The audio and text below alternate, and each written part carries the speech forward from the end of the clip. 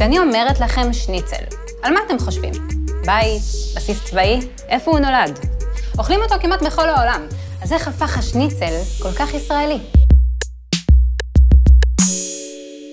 הלומברדים שבצפון איטליה והאוסטרים מתקוטטים מתחילת המאה ה-19 על הקרדיט להמצאת השניצל. במשך שנים התבססו היסטוריונים על מסמך שמוכיח לכאורה שאחד מגדולי המצביעים האוסטרים במאה ה-19 גילה מאכל זהה במילאנו, קוטולטה אלה מילנסה, והביאו את המתכון לווינה. אלא שאז התגלה שהמסמך מזויף, ובנוסף התגלו גם הוכחות לקיומו של השניצל הווינאי הרבה קודם להעתקה, בסוף המאה ה-18. אבל בזה לא הסתיים הוויכוח. בשלב מסוים נכנסו לתמונה גם הצרפתים, ממאכל דומה שהוכן בצרפת עוד באמצע המאה ה-18, ואפילו אנשי בולוניה באו עם הוכחות לגרסה משלהם עוד מהמאה ה-16. בסוף נראה שהלומברדים ניצחו בוויכוח, עם עדויות לקיום המאכל במילאנו במאה ה-12. אבל יש עוד כל מיני אגדות וסיפורים על התפתחותו באימפריה הרומית בעת העתיקה. וגם אם האיטלקים עשו את זה קודם, זה לא אומר שהאוסטרים לא עלו על הפטנט בעצמם. במקרה. בלי קשר. כשיהודי מרכז אירופה ומזרח אירופה עלו לארץ ישראל, הם הביאו איתם את הגרסה הווינאית של השניצל, שנעשתה פופולרית במדינות המוצא שלהם. המאכל היה כוכב בתפריטי המסעדות המקומיות כבר בשנות ה-30, והופיע כמובן בשמו הגרמני שניצל. כנראה מהמילה הגרמנית שניץ, שפירושה חיתוך או נתח. ועד הלשון העברית הציע את החלופה קטיטת עגל, ואיתה גם קטיש, לפטיש המיוחד. אבל זה לא תפס. כמו בגולה, בתחילת דרכו בארץ נעשה השניצל רק מבשר עגל. אבל בימי מלחמת העולם השנייה היה קשה להשיג מצרכים רבים. המחירים עלו, ובעיתון הצופה הציעו להכין את המאכל מלקרדה, שהוא סוג של דג כבוש ומעושן שהיה זול ונגיש יותר מבשר.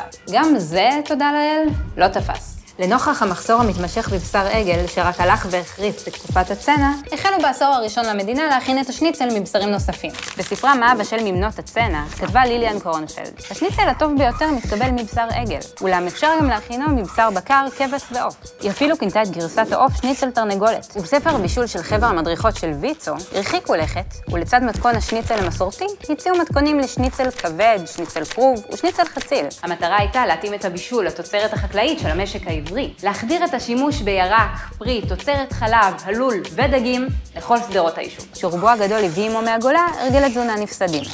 כשנגמרה תקופת הצנע, נשאר שניצל לתרנגולת פופולרי. המדינה גם החלה לסבסד את ענף הלול, ולכן עלתה זמינות בשר העוף. ובשנת 1977 קבעה האקדמיה ללשון העברית שקטיטה תהיה המילה לכל שניצל, בלי קשר לסוג הבשר. השניצל הפך לחלק בלתי נפרד מהמטבח הביתי הישראלי, בין אם בגרסת העוף, בגרסאות הצמחוניות או בגרסאות לעצלנים. השניצלים הקפואים והמעובדים שהחלו לחדור לשוק בשנות ה-70. השניצל הפך בארץ גם למאכל רחוב. בשנת 1973 קם בנתניה מזנון איילה, שמכר שניצל בתוך חצי כיכר לחם לבן, וטען לכתר השניצליה העברית הראשונה. אחר כך הגיעו השניצל בבגט, וכמובן השניצל בפיתה, שהפך אותו לישראלי לגמרי.